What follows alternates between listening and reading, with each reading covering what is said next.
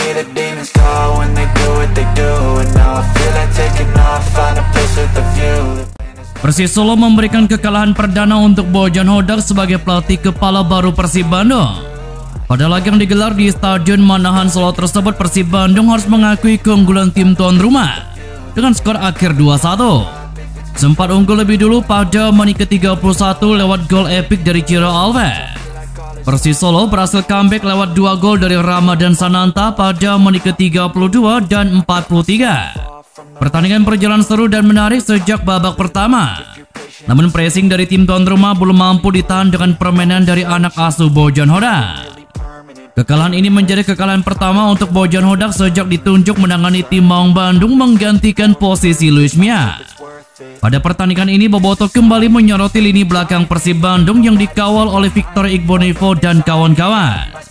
Selain lini belakang, lini serang Persib Bandung terutama striker utama milik Persib Bandung yakni David Da Silva, juga tidak lepas dari kritikan tajam Boboto usai laga, seperti yang terlihat di akun Instagram resmi milik Persib Bandung.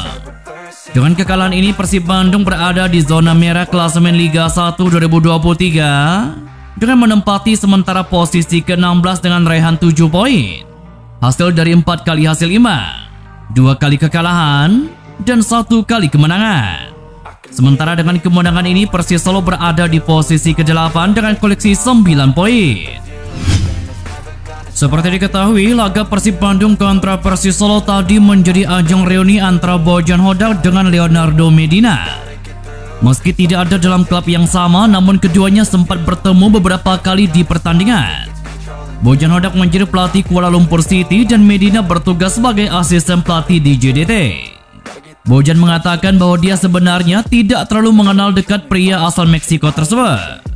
Namun dia bisa menyimpulkan bahwa Medina merupakan sosok yang punya kualitas dalam hal meramu strategi. Acuannya adalah karena dia begitu sukses bersama JDT ketika diasuh Luciano Figueroa serta Benjamin Mora. Komunikasi antara mereka hanya terjadi beberapa saat saja sebelum pertandingan di kompetisi di negara Malaysia. Hal itu yang membuat Bojan Hodak sebenarnya merasa dirinya tidak terlalu mengenal dekat Medina. Namun komentar positif diberikan setelah melihat kinerjanya bersama JDT dan kini terus membawa Persis Solo berbenah. Saya tahu Leo adalah asisten pelatih. Jadi sejujurnya saya tidak pernah ada kontak langsung dengannya.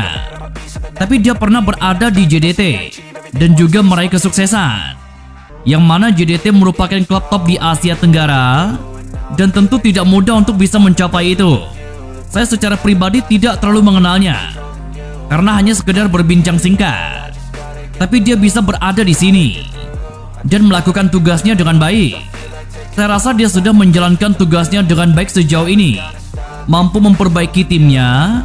Saya rasa dia pelatih bagus. Jelas Bojan Hoda. Sementara itu Laskar Sambar Nyawa memang sangat mewaspadai Maung Bandung yang dilatih oleh Bojan Hodak.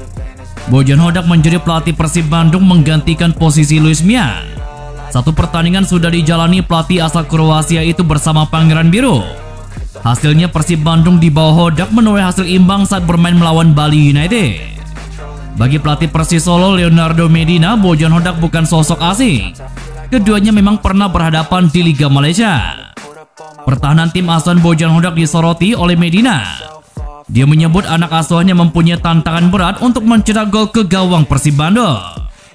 Kami tadi menghadapi tim yang bagus dengan pelatih kepala yang saya tahu sejak di Malaysia. Dia pelatih bagus dengan pertahanan kuat. Dia selalu punya pertahanan bagus. Jelas Leonardo Medina. Pada pertandingan tadi, permainan terbuka memang dilancarkan kedua kesebelasan. Mengingat Persis Solo dan Persib Bandung sama-sama memerlukan poin sempurna pada laga tersebut. Pelatih Persib Bandung Bojan Hondak mengatakan target kemenangan yang diusung kedua tim menciptakan atmosfer pertandingan ekstra ketat. Namun baginya pertandingan kontra Persis Solo tadi berjalan sangat sulit karena kedua kesebelasan dinilai tampil terus menyerang. Bojan Hodak juga menilai laga menampilkan jual beli serangan sangat disukai oleh supporter atau yang menyaksikan pertandingan. Namun kata dia hal tersebut tidak bagus bagi pelatih karena hal itu terlalu berisiko. Bojan Hodak menambahkan timnya tidak terlalu fokus dengan permainan yang disajikan lawan. Namun itu akan menjadi salah satu alarm terhadap timnya agar lebih berhati-hati ketika mengambil alih serangan. Ya, kedua tim sama-sama mencetak banyak peluang. yang mana itu bagus bagi fans, tapi tidak bagus bagi pelatih. Karena kedua tim juga sama-sama kemasukan banyak gol. Meski di laga terakhir kedua tim kemarin bertahan dengan baik. Jelas Bojan Hoda. with the view The pain. Is never gonna stop if it's controlling you. I know the time can heal it all, I just gotta get through Sometimes I feel like all is lost, but I know it's not true. I wanna put up all my walls cause I'm not in the mood. But then I cut myself off from the rest of the room. I know that time can heal it all if you're patient and soon